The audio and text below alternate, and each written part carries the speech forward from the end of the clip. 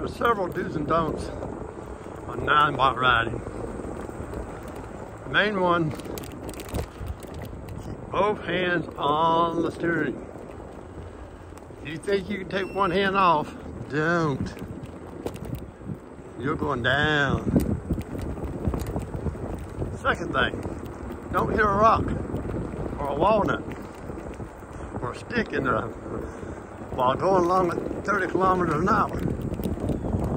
You would definitely be going down again.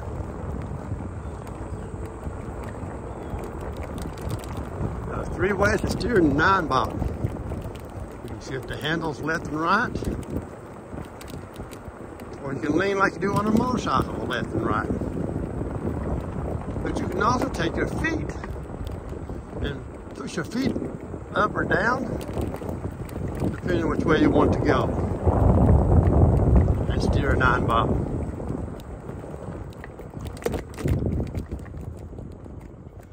I like the feet method. But it's just a matter of just flexing your foot. But I am so used to doing the motorcycle.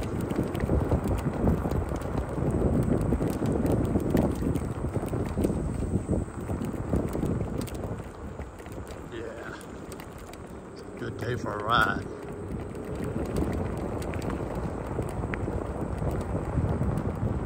Sometimes it helps to get an empty parking lot and just do a few circles.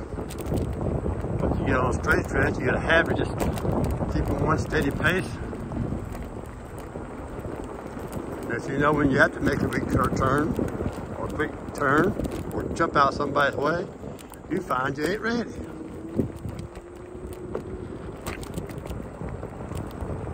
boy, you feel every little gravel, rock, every little bump. You do get a good sensation floating along.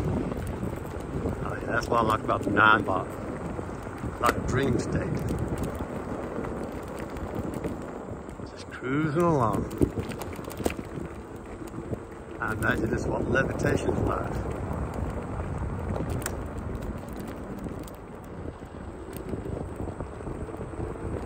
Okay. Let's do another loop and swing it back.